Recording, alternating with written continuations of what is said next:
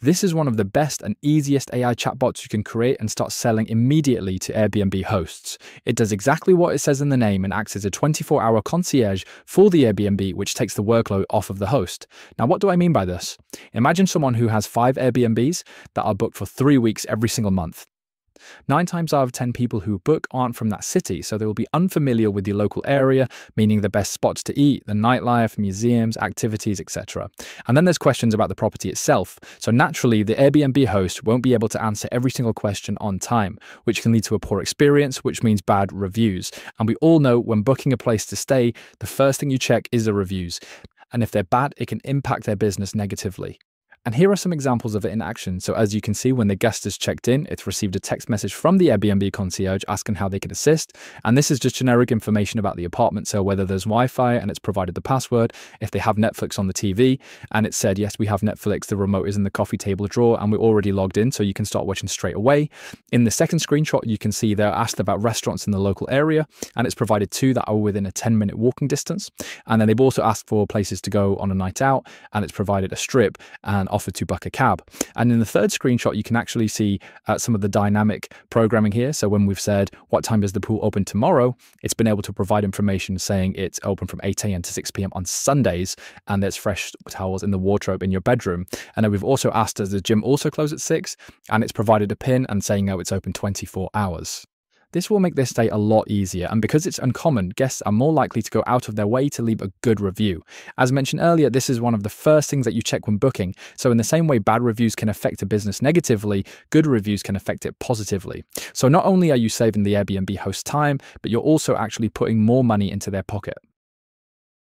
So let's get into how we actually set this up. I like to use a QR code as it can be printed off multiple times and put into different places within the property. It's really up to the business owner.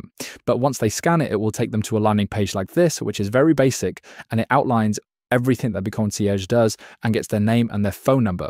As soon as they submit, they'll get a text from the bot greeting the guest, which will look something like this. In order to create this inside Go High Level, you go to the funnel section and create a quick landing page. This is one that I made earlier. Now, it doesn't have to be anything special. It should just provide some generic information about the concierge, and it should be optimized for mobile only since the guest will be scanning the QR code with their phone. Now, once the form is submitted, this then triggers an automation that starts when it receives a submission from the Airbnb form, and it will simply add them to the AI workflow, which is the initiate bot. And if you're not familiar with these AI chatbots, you can find them in my free community where I have step by step breakdowns on how to create, build, and sell automations just like this, as well as how to set up your own automation agency within Go High Level. We have hundreds of students who are already making money within the first few weeks. So to get access, just click the link in the description. So in the Initiate bot, we're going to start by adding the autopilot tag to the user, which basically means it's engaging with our AI bot and this contact is in our workflow. And then we're going to update the contact field, which is going to use the ChatGPT response custom field, which is a variable that holds the message that the AI bot is going to send.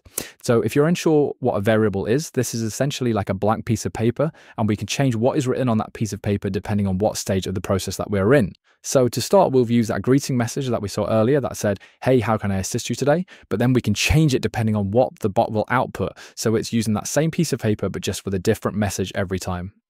Now we move on to the GPT bot, which is the main one as it's basically the brain of the bot. It has two triggers, contact changed and customer replied.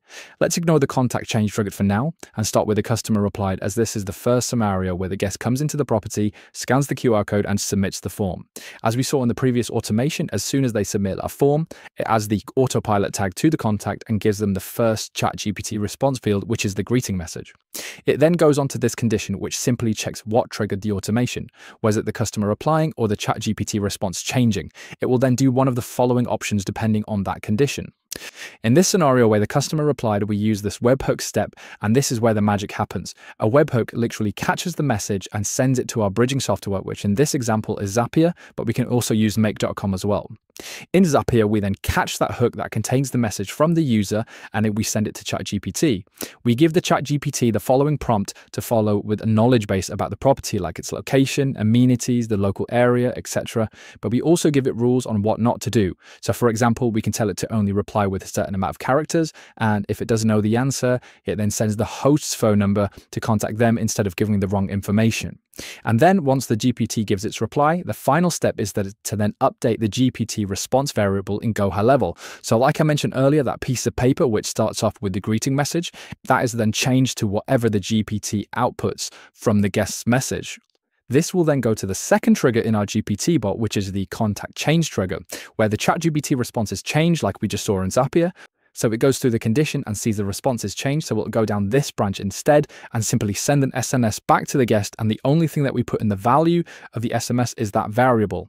So I hope that you can see the purpose of using a variable now. It's something that we can use over and over again and dynamically change.